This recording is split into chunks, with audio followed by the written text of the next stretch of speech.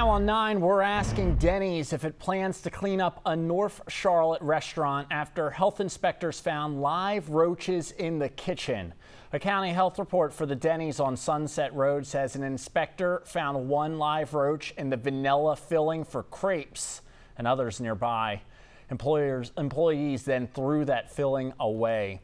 The restaurant received an 82.5 score. A restaurant has to close if it has a score of 70 or below.